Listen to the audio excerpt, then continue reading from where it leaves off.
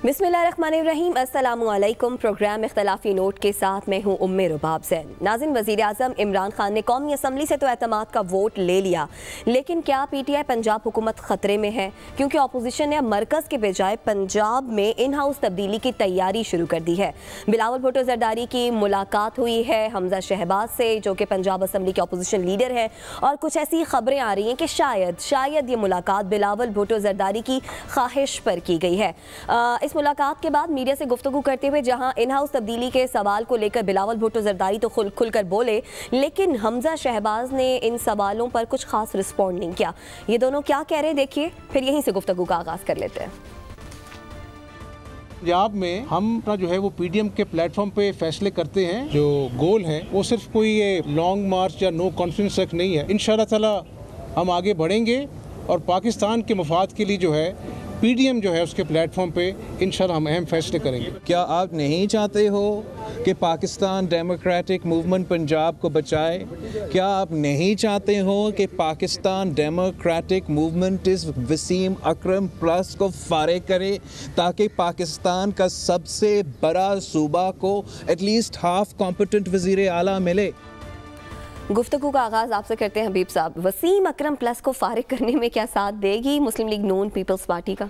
देखिए जो उस्मान बुजदार साहब की जो फेट है वो इस वक्त बिल्कुल स्टेक पे आई हुई है और उसके बारे में बातें जो हैं अब यहाँ लाहौर से लेके इस्लामाबाद और पिंडी और कराची तक हो रही हैं। हम्म। बाकी शहर तो मैंने ऐसे ही डाले हैं लेकिन खैर तो बातें तो हर शहर में हो रही हैं। कहने का मतलब ये था। दूसरी बात यह है कि अब वो बातें एक हैं विद इन पार्टी। यानी पाकिस्तान तहरीक इंसाफ और उसके इतिहादियों के दरमियान ये बात डिस्कस हो रही है कि उस्मान बुजदार को बदला जाए। ये एक पहलू है। दूसरा हिस्सा है कि पाकिस्तान पीपल्स पार्टी ये समझती है कि उस्मान बुजदार को बदला जाए। और इस मकसद के लिए उसे अब साथ ज़रूरी है पी एम एल एन और ज़ाहिर है पी एम एल एन और पीपल्स पार्टी मिल भी जाए तो फिर पी एम एल क्यू को भी साथ आना पड़ेगा इसी सूरत में। उस्मान बुजदार को बदला जा सकता है हम्म। तो अब उस्मान बुजदार की फेट दो तरह से डिस्कस हो रही है कि एक तो हॉस्टाइल टेक ओवर हॉस्टाइल तरीके से उन्हें हटा दिया जाए और दूसरा यह है कि फ्रेंडली तरीके से उन्हें बुला के इमरान खान साहब के उस्मान हम्म। आपने बहुत अच्छा काम किया है लेकिन अब मैं आपको गवर्नर बनाता हूँ ओहो तो खबर निकल गई खैर अच्छा मैं अब अच्छा? आप अच्छा अब आपको मैं ये ओहदा देता हूँ हम्म। ठीक है तो आप यहाँ पे आ जाए और फिर एक और साहब जो है वो आ जाए। अब आप पूछें कि वो साहब कौन होंगे? क्योंकि पहले भी बेशुमार नाम बीच में डिस्कस हो चुके हैं। बिल्कुल। एक नाम है जो पहले बहुत शुरू में डिस्कस नहीं हुआ था। फिर दरमियान में आके वो चौथे पाँचवें दर्जे पे डिस्कस होने लगा। अच्छा। और फिर यका यक अब वो दोबारा सरे फहरिस्त आ गया। हम्म। ठीक है ये बिल्कुल स्टॉक एक्सचेंज की तरह पॉलिटिक्स भी बाजुकात बिहेव करती है ना कि कभी कोई शेयर ऊपर और कभी कोई नीचे। तो फिर कौन तो है? इस वक्त इंडेक्स पे जो सबसे हैवी शेयर है उसका नाम है राजा बशारत। राजा बशारत अच्छा। जो वज़ीर वज़ीर कानून, कानून पंजाब अब वज़ीर कानून साहब जो हैं इनके अंदर एक ऐसी यूनिक चीज़ है जो बाकी किसी में नहीं पाई जाती। वो क्या? वो ये है कि नंबर वन इनका जो ये इनका सबका ताल्लुक पी एम एल क्यू से वो तो अगरचे उस्मान बुजदार साहब का भी है। हम्म। लेकिन इन्हें हुकूमत में रह के परवेज लाई की काबीना में रह के काम चलाने का बहुत अच्छा तजुर्बा है और ब्यूरोक्रेसी से इनकी रिलेशनिंग बहुत अच्छी है अच्छा। और फिर क्वार्टर्स तमाम पाकिस्तान के पावर क्वार्टर्स में भी इनको एक डिसेंट और एक एक कारीगर आदमी समझा जाता है हम्म। तो इसलिए उनका नाम एक दफ़ा फिर डिस्कस होने लगा है अच्छा मेरी मालूम ये है कि अभी दो दिन पहले एक शादी थी इस्लामाबाद में हम्म। तो उस शादी में एक रुकने असम्बली भी थे तो वहाँ पे बड़े बड़े लोग बैठे हुए थे तो एक बड़े लोग के पास बड़े लोगों में से एक बहुत बड़े आदमी के पास वो गए अच्छा। और उन्होंने कहा कि जनाब आपको नहीं लगता कि पंजाब में तब्दीली होना ज़रूरी है उन्होंने कहा हाँ हाँ बिल्कुल होना चाहिए ये तो हम्म। मैं पहले दिन से कह रहा हूँ कि अच्छा। पंजाब में तब्दीली होनी चाहिए उन्होंने कहा कि अच्छा कैसी तब्दीली होनी चाहिए उन्होंने कहा जी ऐसा आदमी चाहिए जो ब्यूरोक्रेसी से अच्छा वास्ता रखता हो और जो फिर आ, काम को समझता हो जो एग्रेसिवली काम कर सके हम्म। तो उनका ऐसा आदमी कौन हो सकता है उन्होंने कहा जी उन्होंने भी राजा बिशारत का नाम लिया चूँकि आजकल शेयर बहुत ऊँचा जा रहा है ना हाँ। तो उन्होंने भी राजा बिशारत का नाम ले लिया तो उन बड़े साहब ने बड़ों के भी बड़े साहब ने कहा कि जनाब वाकई आप आपका आपकी चॉइस तो अच्छी हम्म। तो लिहाजा वहाँ से भी एक बात चल पड़ी हम्म। तो अब विद इन पार्टी भी ये मामला जो है वो डिस्कस हो रहा है। सही हो गया। अब तो यानी एक फ्रेंडली तरीके से भी उस्मान बुजदार साहब को हटाया जा सकता है। सही। अब दूसरा तरफ़ आ जाए कि अब पीएमएलएन क्या हाँ, करेगी? पीएमएलएन क्या करेगी? देखिए पीएमएलएन को आदत हो गई है कि वो पंजाब की हुकूमत उसी वक्त चला सकते हैं जब मरकज में भी इनकी में हुकूमत हो। या फिर मरकज में ऐसी फ्रेंडली हुकूमत हो जैसी आसफ अली जरदारी साहब की थी। यानी सीओडी वाली हुकूमत। तो उस हुकूमत में तो चल सकते हैं। बसूरत दीगर आप फ़र्ज़ करें कि आज अगर आप तब्दीली लेके आते हैं तो वज़ीर अला कौन होगा पंजाब का? हमजा शहबाज या शहबाज शरीफ तो मरकज में बैठे हैं। हम्म, हाँ वो तो अच्छा हमजा शहबाज अगर वज़ीर आला होंगे तो यहाँ पे तो रोज़ाना खप पड़ी होगी कि जनाब वो चीफ सेक्रेटरी हमारी मर्ज़ी का नहीं आया आईजी हमारी मर्ज़ी का नहीं आया फलां ये हुक्म जारी कर दिया फलां पैसे रुक गए। तो ऐसी सूरत में आप पंजाब में कुछ नहीं कर पाएँगे। तो इसी वजह से जो आ, हमारे हमजा शहबाज हैं वो उस सवाल को पैरी अवे कर रहे हैं कि मैंने इसका जवाब नहीं देना। नून लीग का कोई इंटरेस्ट नून लीग नहीं का हम फ़िलहाल हमारा इंटरेस्ट नहीं है तो उन्होंने बानवान शाइस्ता उन्हें बता दिया है बिलावल साहब को कि मरकज में कुछ कर सकते हैं तो करें। उसके बाद पंजाब में भी देख लेंगे। तो अब मरकज में कुछ करने के लिए ज़ाहिर है बहुत कुछ बहुत कुछ चाहिए। उसमें ऐसे ही है। 25-30 लोग चाहिए तोड़ना। फ़र्ज़ करें वो 25-30 लोग सो कॉल्ड टिकटों के बुनियाद के ऊपर आ जाएँ ठीक है? जिस तरह पीपल्स पार्टी ने जिस तरह पीपल्स पार्टी ने एलानिया पीएम पीएमएलएन की मदद मदद से हॉर्स ट्रेडिंग करके चोरी वोट करके अ, हमारे सबक वज़ीर आज़म को सेनेट सेनेट में धकेल दिया है। इसी तो इसी तरह की चोरी बल्कि इसी तरह का डाका वो समझते हैं कि पीटीआई पे डाला जा सकता है। तो बिस्मिल्ला अगर आपने डाके डाल के हुकूमतें बनानी है तो फिर डालें डाके। सही हो ठीक है? ताकि लोग फिर आपको फिर जो डाकू डाकू कहते हैं फिर वो गलत तो नहीं कहते होंगे। क्योंकि ये तो अलल ऐलान है ना आप डाके डालें। तो आप डाके ना डालें पा, पाकिस्तान की सियासत में कोई भरम रहने दें। सीने पे हाथ मार के बाहर ना आए कि जनाब इतने लोग थे इतने बिकने वाले हैं है इतने आने वाले हैं इतने जाने वाले हैं तो कोई कोई इस पाकिस्तान की पॉलिटिक्स में जो हया का शम्मा रह गया है आखिरी क्योंकि बाकी तो माशाल्लाह पंद्रह तो बिके हुए हैं ना सोलह।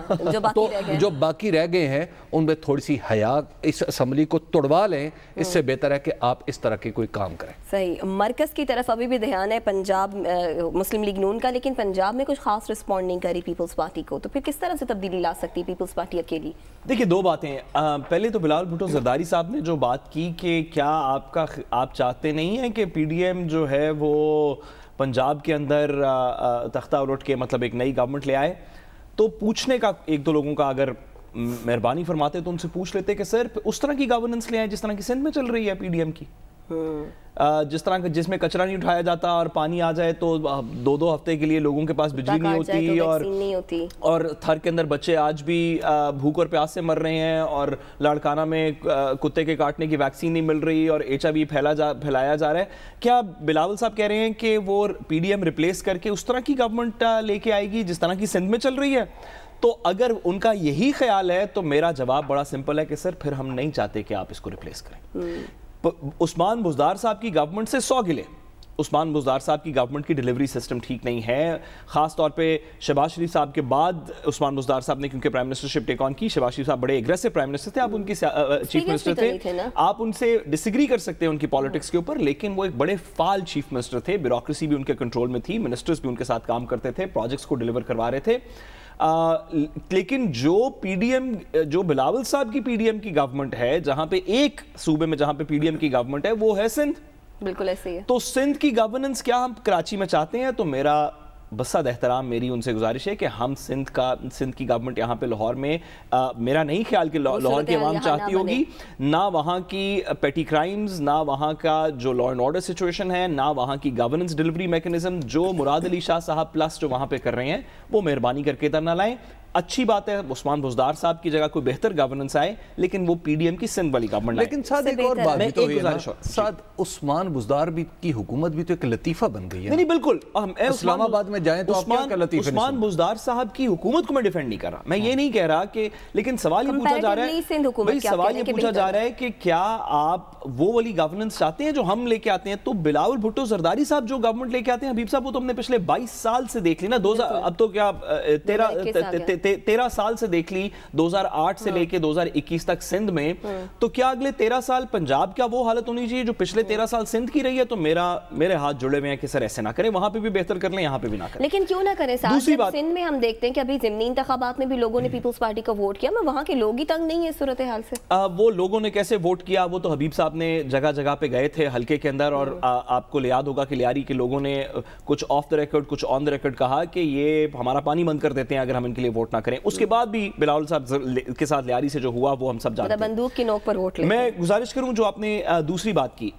देखिए हमजा शहबाज साहब जो हैं वो एक बड़े प्रूडेंट पॉलिटिशियन हैं और अ, उनकी पर्सनल और दीगर चीज़ों से इख्तलाफ हो सकता है। उनकी वो एक बड़े प्रूडेंट पॉलिटिशियन है। उन्होंने बड़ी मार भी खाई है परवेज़ मुशर्रफ साहब के टाइम पीरियड के अंदर भी वो यहाँ पे पंजाब में मौजूद थे जब बाकी तमाम लोग शरीफ ख़ानदान के अ, मुल्क से बाहर अ, अपने पैलेसेस में रह रहे थे। अ, हमजा शहबाज साहब का नैरेटिव आपको वो नहीं लगा होगा जो बिलावल भुट्टो सरदारी साहब का नैरेटिव है। हमजा शहबाज साहब का नैरेटिव आपको वो भी नहीं लगा होगा इस आपने जो शॉर्ट सुनवाया उसमें जो मरियम नवाज़ साहिबा का नैरेटिव है। उन्होंने थोड़ा सॉफ्टर बोला थोड़ा नॉन कॉन्ट्रोवर्शियल थोड़ा नॉन कॉन्फ्रंटेशनल बोला।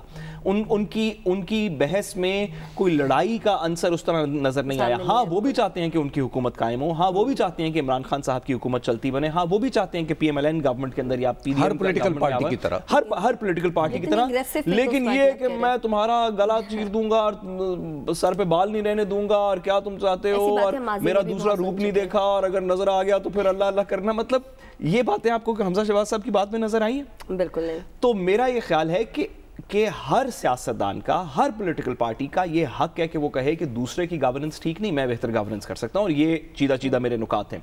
या मैं चाहता हूँ कि हम बेहतर सर्विस कर सकते हैं। लेकिन ये जो गालम गलोच खींचा तानी की जो बयानात, जो सियासत के अंदर शुरू हुए और फिर सियासत से दीगर पार्टी वर्कर्स में आए, ये हमजा शहबाज साहब के मेरे कम अज़ कम मुँह से नहीं सुने और मुझे खुशी है कि अभी भी वो सियासत ज़रूर कर रहे हैं, लेकिन कोई लड़ाई करने का मोड उनका नज़र नहीं आ रहा। अच्छा हबीब साहब, ये जो बिलावल भुट्टो जरदारी बात कर रहे हैं कि काफ लीग के पास भी जाएँगे और फिर यूसुफ रजा गिलानी के लिए वोट मांगेंगे। क्या दर पर्दा मुस्लिम लीग काफ कोई ग्रीन सिग्नल दे रही है? बिलावल भुट्टो जरदारी को वो थोड़े कॉन्फिडेंट हैं कि जी जाएँगे वोट मिल जाएगा। दूसरी तरफ़ जनूबी पंजाब के हवाले से भी कहा जा रहा है कि वो लोग भी कुछ नाराज़ दिखाई देते हैं हुकूमत से वो सूबा नहीं बना ना अभी तक।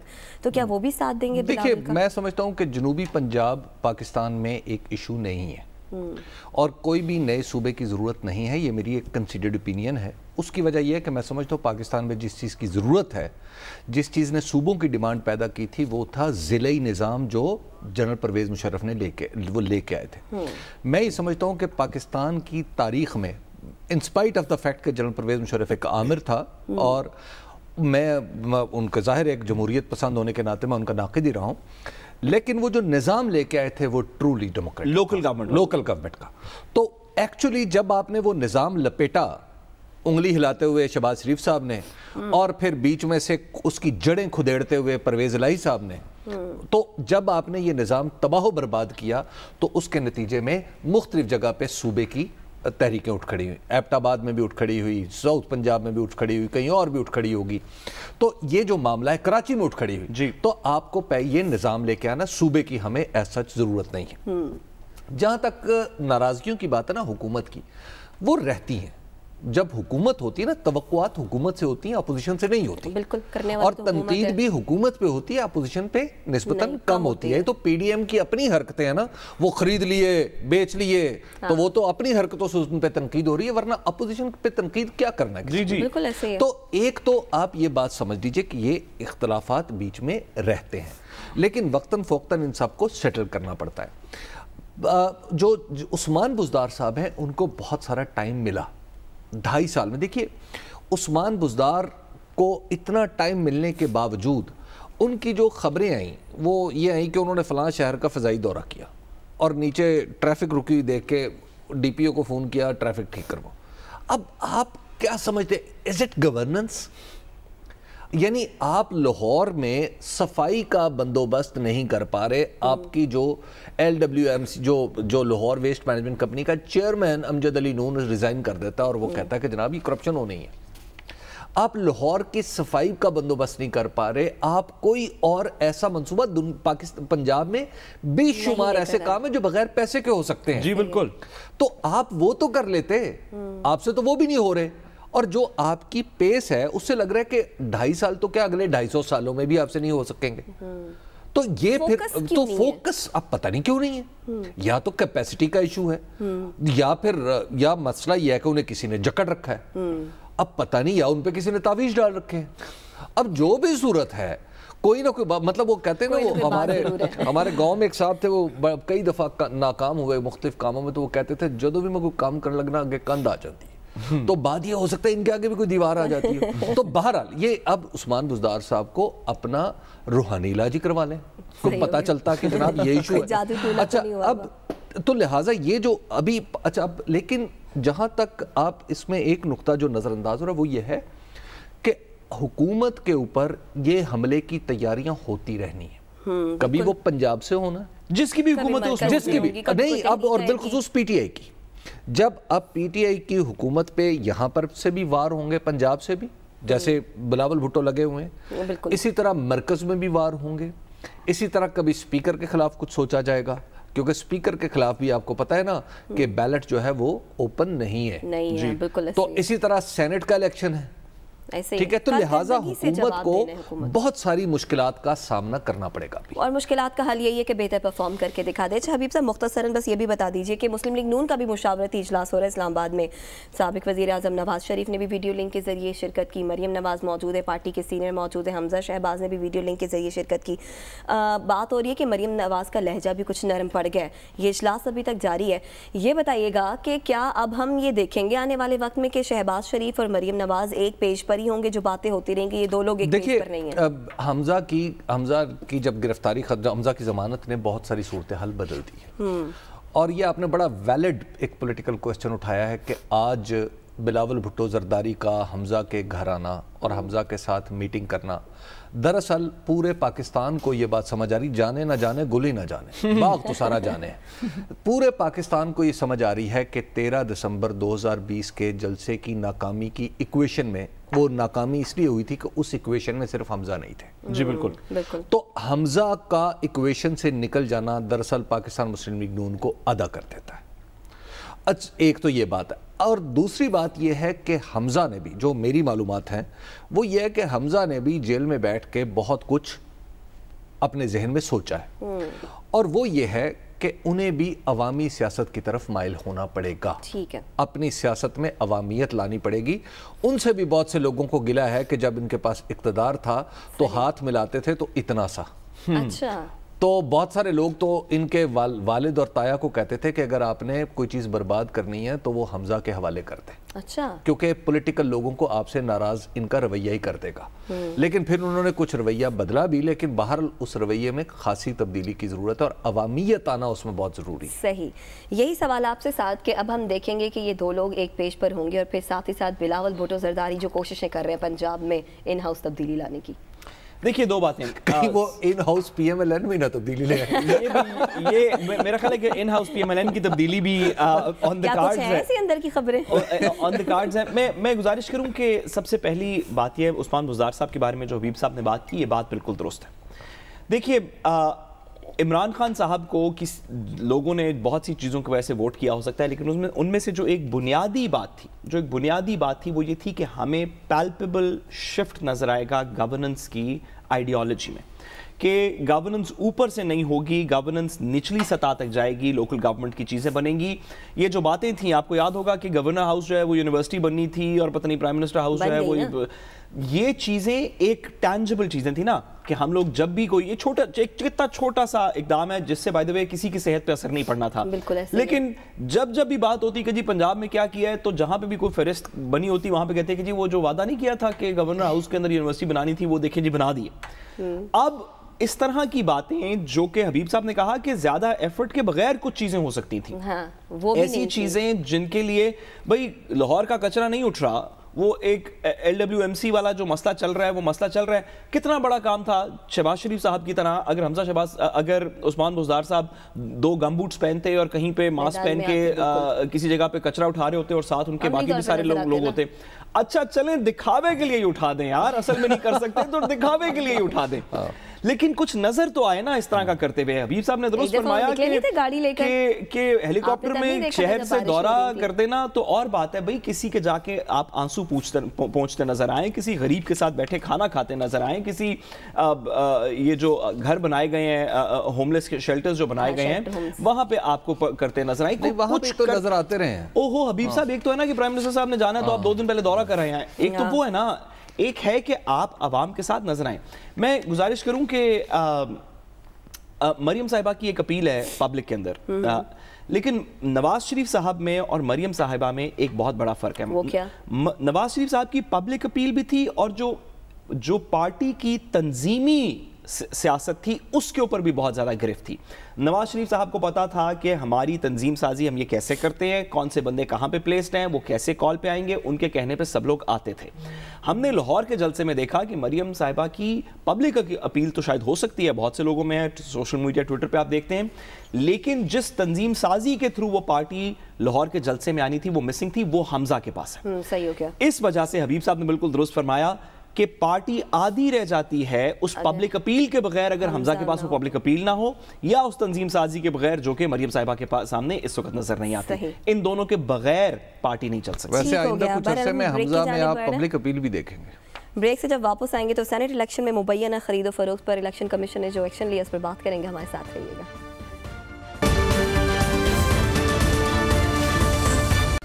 वेलकम बैक नाजिन सैनेट इंतबात में वोटों की मुबैना खरीदो फरोख्त का मामला है जिस पर इलेक्शन कमीशन ने पीटीआई के एमपीए से सबूत तलब कर लिए हैं उन्होंने ये कहा है कि जी आठ करोड़ रुपए की उन्हें पेशकश की गई है और नाम है इनका अब्दुल सलाम आफरीदी और अब इलेक्शन कमीशन ने कहा है कि जनाब आप सबूत पेश करें इनका कहना है कि मेरे पास चैट रिकॉर्ड मौजूद है वो मैं इलेक्शन कमीशन में दिखा दूँगा हबीब साहब एक तरफ़ एक शख्स कहता है कि मुझे पेशकश हुई इलेक्शन कमीशन कहता है कि जी जनाब आप सबूत पेश करें दूसरी तरफ़ बकौल आपके सीना ठोक कर अपोजिशन कह रही है। बिलावल भुट्टो जरदारी कह रही है कि हाँ जी जनाब ये तो आर्ट है। हमने नामुमकिन को मुमकिन कर दिखाया। मरीम नवाज़ कहती है पैसे नहीं लेकिन हमने टिकट बेचे। देखिए मुझे इलेक्शन कमीशन से मौजूद है। अगर आप कहें तो सुनवा। सुनवा दें तो ज़्यादा अच्छी बात है।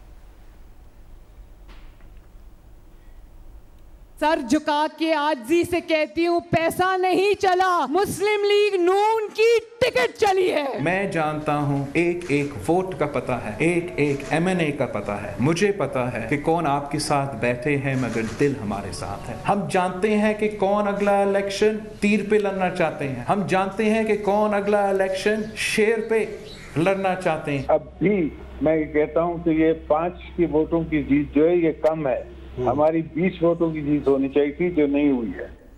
होनी तो 20 वोटों की जीत चाहिए थी क्योंकि नोट देखिए अगर कॉल वज़ीर वो उस दिन साथ भी ये कह रहे थे कि ये दोनों बयानात दरअसल किसी न किसी लालच और खौफ के इस्तेमाल होने के पता दे रहे हैं। जब ये सूरत हाल ऐसी है कि हमारे सामने जो दो बड़ी पॉलिटिकल पार्टीज़ हैं उन्होंने यूसुफ रज़ा गिलानी को कैंडिडेट अपना नामजद किया और बाहर आके सीना ठोक के वो ये कह रहे हैं उनकी दीदा दलेरी की भी हद है कि वो कह रहे हैं कि हमने तो आपने ऐसी कहा, हमने तो। हमने पंद्रह लोग या सोलह लोग जो हैं कर लिए थे हमने पैंतीस लोग करने थे साबिक सदर ये कह रहे हाँ, हैं। कि 20 लोग होने तो अब मसला ये है कि क्या एक सबक सदर का इतराफ मौजूद है? दो प्रोस्पेक्टिव वज़ीर आज़म जो अपने आप को समझते हैं उनका एतराफ़ात मौजूद हैं। और तीसरी बात यह है कि खुद कई हवाले से कुछ टीवियों पे मैं देख रहा था यूसुफ रजा गिलानी साहब के भी एतराफ़ात चल रहे हैं। अब सूरत हाल ये है कि क्या चाह पे चार बड़े आपको नज़र आए? वीडियो तो वहाँ पे और वीडियोस भी मौजूद हैं। तो वहाँ पे इलेक्शन कमीशन की टांगें काँप गई हैं या क्या हुआ? मुझे मुझे एतराज़ ये नहीं है कि इनसे क्यों पूछा है। मैं समझता हूँ कि शुरू यहाँ से नहीं होना चाहिए था। बिल्कुल। इलेक्शन कमीशन से हमारी तवक्कुआत डस्का इलेक्शन के बाद काफ़ी बढ़ गई हैं। हमारी उम्मीदें और आपसे कोई इलॉजिकल उम्मीद नहीं है। उसकी वजह यह है कि ये एक लूला लंगड़ा बहरा अंधा बगैर दांतों के इदारा था। अगर इसमें डस्का की सूरत में कुछ इसमें तहरुक नज़र आया तो हम चाहते हैं कि फिर पूरा तहरुक नज़र आए। आप बादशाहों को थप्पड़ मारने से बचें। जो बड़े लोग हैं हाँ, ठीक है और छोटों पे जहाँ ज़ोर चलता है अब्दुल सलाम अफरीदी बेचारा कुछ कर नहीं सकेगा वो आराम से आपके सामने आके डरता टांगे काम तो उसके पेश हो जाएगा अगरचे वो भी ऐसा आदमी नहीं है। हम्म। लेकिन आप जो है शुरू यहाँ से कर रहे हैं। मसला यह है कि आपके सामने पीटीए की दरखास्तें मौजूद हैं। हम्म। पीटीए के खिलाफ भी दरखास्तें मौजूद थी ना डस्का की। बिल्कुल। ठीक है डस्का पे आपने खुद काम किया और आपने उसको इलेक्शन को रोक दिया। हम्म। इस पे वीडियोस मौजूद हैं। बिल्कुल। पूरा मीडिया चिल्ला चिल्ला के कह रहा है कि ये इलेक्शन ऐसे हुआ है इसमें वोट चोरी हुआ है। ऐसे है। तो इस पर गौर करें। इसमें इस पे कानून के दायरे के अंदर रहते हुए आगे बढ़े। दूसरी बात मैं एक और अर्ज़ करना चाहता हूँ इसी हवाले से। हमारे दोस्त हैं डॉक्टर शहबाज गिल साहब। उन्होंने मुझे कहा कि भाई साहब आप कह रहे हैं कि ये जो पंद्रह लोग हैं इनकी वजह से हम पूरी असम्बली तोड़ दें। यानी पंद्रह नलायकों की वजह से वो जो 160 दूसरे लायक लोग हैं हम उनको भी खत्म कर दें उस असम्बली को घर भेज दें। तो आप ये कहना चाहते हैं कि पंद्रह कसूरवारों की सजा 160 बेकसूरों को दे दें? मैंने कहा मैं ये नहीं कहना चाहता। मैंने उन्हें अर्ज़ किया। मैंने कहा जी आपका ये इस्तदलाल ठीक है लेकिन इसके लिए ज़रूरी है कि बंदा वज़ीर भी हो। इस इस्तदलाल को जब तक वो पंद्रह लोग पकड़े नहीं जाते उस वक्त तक इस असम्बली के हर शख्स पे ये शक होगा और बिलखसूस उन 178 लोगों पर शक होगा जिन्होंने कल वजी अजम को एतमाद कर बिल्कुल ऐसे ही। बिल्कुल ऐसे ही है। इस शक को निकालें अगर आपने पॉलिटिकल सिस्टम को आगे बढ़ाना है इसकी अखलाकी साख बरकरार रखनी। ठीक हो गया। इलेक्शन कमीशन ने अपनी आइन के मुताबिक जो है भरपूर काम किया। उन्होंने कहा कि हम आइन के दायरे में रहते हुए जो है हम काम कर रहे हैं। लेकिन ये भी तो इलेक्शन कमीशन का काम है ना कि आपके पास सबूत मौजूद हैं प्रूफ्स मौजूद हैं। उसके बावजूद अब तक आपने खामोशी जो है वो अपना रखी है। देखिए जब हम इलेक्शन कमीशन की तारीफ़ कर रहे थे ना डस्का के बाद तो अ, बात इस तरह की कुछ हुई कि मेहरबानी करके इलेक्शन कमीशन साहब चीफ इलेक्शन कमिश्नर साहब हमने इफ्तार चौधरी को भी कंधों पे उठाया और फिर हमने जलालत हुई हमें ये सोच के कि पछतावा हुआ। पछतावा हुआ कि ये सोच के मैं माजरत चाहता हूँ। पछतावा हुआ ये सोच के कि हमने किसको आसमान तक उठा लिया। हमने इसी तरह दीगर भी बहुत से लोगों को इस मुल्क के अंदर पहले एक सिंबल बना दिया रेजिस्टेंस का और बाद में पता चला कि ये भी हमारे जैसे ही हैं।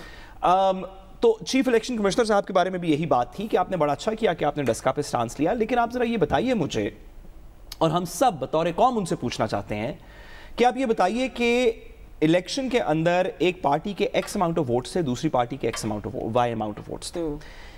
एक पार्टी ने कहा कि हम इनके वोट इनसे खरीदेंगे। अच्छा भाई वे ये जो जो कानून है सेक्शन 167 इलेक्शन एक्ट का वो कहता है कि आपने अगर किसी भी सूरत में इन्फ्लुएंस किया हो अगले का वोट तो वो इलीगल है।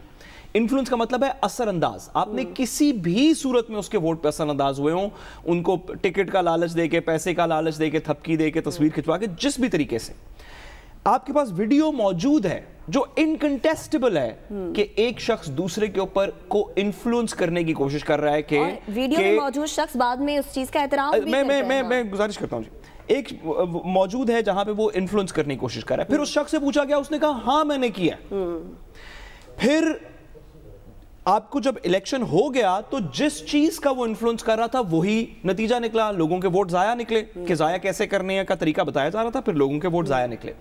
फिर जिन लोगों ने किया था, उन्होंने बाहर निकल के कहा कि हाँ हमने किया है, लेकिन पैसे दे के नहीं किया, फलानी चीज़ की वजह से किया, फलानी चीज़ की वजह से किया। फिर एक कंप्लेनेंट है, जिसने कहा कि ये मेरे पास टेक्स्ट मैसेजेस मौजूद है, आठ करोड़ रुपए के। आपके पास कंप्लेंट्स मौजूद हैं। अगर दुनिया का हबीब साहब कोई कोई मुल्क को जिसमें निज़ाम थोड़ा सा ठीक चलता हो तो उसके अंदर इसके ऊपर अब तक क्या हो चुका होता? अब तक बहुत सारे लोग रिजाइन कर चुके होते रिजाइन कर चुके होते शायद असेंबलियाँ असेंबली टूट चुकी चुकी होती। अ, लोगों को इस वक्त उनके खिलाफ प्रोसिक्यूशन की जा रही होती। ये नहीं कहा जा रहा होता किसी एक शख्स को कि यार तुम ये बताओ कि नहीं नहीं। बियॉन्ड रीजनेबल डाउट पहले तुम हमारे पास at the very outset proof लेके आओ फिर हम कार्रवाई करेंगे। भाई सारे इदारे इलेक्शन कमीशन के ताबे हैं। हबीब साहब सारे ही इदारे इलेक्शन कमीशन के ताबे हैं। बाय द वे इसमें सिर्फ़ पुलिस और एफआईए नहीं आईएसआई एमआई आईबी सब इलेक्शन के प्रोसेस के लिए उनके ऊपर इलेक्शन कमीशन जो है वो कह सकता है कि मुझे ये रिपोर्ट दें ये रिपोर्ट दें। कितना मुश्किल काम है ये बात पता करवानी और वज़ीर आज़म की ऑफ़र मौजूद है। जी, जी, ऑफ़र मौजूद है कि खुफिया इलेक्शन एजेंसियों को कमीशन बुलाएँ। खुद को मुतनाज़ क्यों बना रहा है? इस पर बात करेंगे इस ब्रेक के बाद हमारे साथ रहिएगा।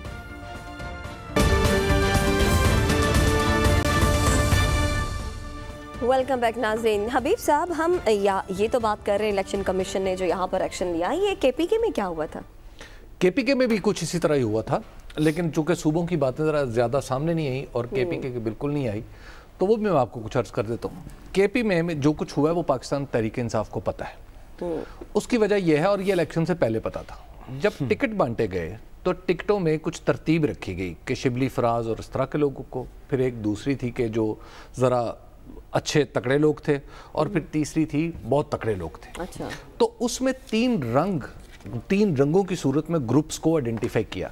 एक ग्रुप था वाइट ग्रुप अच्छा। वाइट ग्रुप से तवक्को चूँकि सेनेट के वोट ग्रुप्स में जाते हैं ना कैटेगरीज बना ली तो जो वाइट ग्रुप था उसमें था कि भाई ये तो पार्टी के साथ खड़े हुए हैं हर कीमत पे खड़े हुए हैं ये सौ फ़ीसद हमारे साथ है। तो लिहाजा वहाँ पर उस ग्रुप में शिबली फराज को टिकट दिया गया कि गरीब आदमी है। मतलब उस तरह अमीर आदमी नहीं अमीर आदमी माशाल्लाह खुशहाल आदमी है। लेकिन बहुत सारे लोगों लेकिन गरीब आदमी तो ये यहाँ पे दयानतदारी से जीत गए। ऊपर आ जाएँगे लोग इनको वोट डाल देंगे। दूसरा ग्रुप था ग्रे। उस ग्रे में था कि उसमें सात जैसे जरा लोगों को टिकट दिया गया। कि जनाब जरा अमीर कबीर भी हैं ठीक है? कुछ थोड़ा सा लोगों को राज़ी भी रख सकते हैं। जहाँ कोई ज़रूरत पड़े तो उनमें ग्रे वाले लोगों से ये सेटलमेंट थी कि भाई जो कुछ भी करना है आपस में कर लें आप लेकिन वोट बाहर नहीं जाना चाहिए। सही हो गया। तो ब्लैक वाले जो थे वो ब्लैक वाले वो थे जिन्हें नहीं वो ऐसे थे कि जिनको उस ग्रुप के लिए जिन लोगों को टिकट दिया गया यानी जिन उनके जिम्मे कहा गया कि ये फलां आपने फलां इसको वोट करना है, हाँ आपने इसको वोट करना है और उम्मीदवारों को बता दिया गया कि जनाब साढ़े दिन रहना। साढ़े दिन रहना। सही बंदे ये हमारे हैं लेकिन आपने जो कुछ भी करना है इनके साथ प्यार मोहब्बत कर लें। इन्हें कन्विंस कर लें। तो ये मामला हो गया। अब वो जो ब्लैक वाले थे वो इतने ब्लैक निकले कि अब उनमें से जो एक सेनेट के उम्मीदवार हैं वो आजकल रिकवरियाँ कर रहे हैं। वो कह रहे हैं वो कह रहे हैं कि जनाब मुझसे तो जितने वोट आने थे चलो जिन्होंने डाल दिए उनको तो छोड़ दिए। हाँ। बाकी तो वापस कर दे। वो तो वापस कर दो। ये आलम है साथ और मज़े की बात आपको जब ये मामला चल रहे थे वहाँ पे हाँ। तो वहाँ पे तौबा इस्तगफार तौबा इस्तगफार के इस बात पे दो दफ, दो बातों पे कस्में खाई जा रही थी। मुझे तो कस्मों के अल्फाज अल्फाज भी पता है मेरी हिम्मत नहीं हो रही। हाँ। कि दो अल्फ, दो चीज़ों पे कस्में खाई जा रही थी एक तो वोट डालेंगे और दूसरा ये कि वीडियो नहीं बनाएँगे। और मज़े की बात वीडियो भी बनी सही। ये आलम है साथ के अब रिकवरियाँ हो रही हैं। देखिए बहुत अफसोस है। हम तो इसके इस सिस्टम के ऊपर इस निज़ाम के ऊपर कुछ दिनों से बातें कर रहे हैं। आ, कानून कानून की शिक दो नंबरी को बदमाशी को दगाबाजी को नहीं रोक सकती। मैंने जिस तरह आपसे कुछ अर्सा पहले भी इस प्रोग्राम में गुजारिश की थी। मैं, मैं, मैंने मैं गुजारिश की थी जैसे पहले भी आपसे कुछ अर्सा गुजारिश की थी कि हमारे कानून में लिखा हुआ है कि आप कत्ल नहीं कर सकते। उससे कत्ल रुक नहीं जाता। कानून मौजूद है जब तक मुतलका इदारा कातिल को पकड़ कर सजा नहीं देता तब तक कत्ल का काम नहीं रुकेगा। यहाँ पे भी पैसों पैसे इस्तेमाल हॉर्स ट्रेडिंग के खिलाफ कानून मौजूद है। जब तक इलेक्शन कमीशन दो चार लोगों को फारिग नहीं करेगा। और छोटे मोटों को नहीं बड़ों मगरमच्छों को तब तक ये रिवायत इस मुल्क में इसके साथ ही प्रोग्राम से इजाज़त दीजिए आपसे अपनी मुलाकात होगी। के बाद।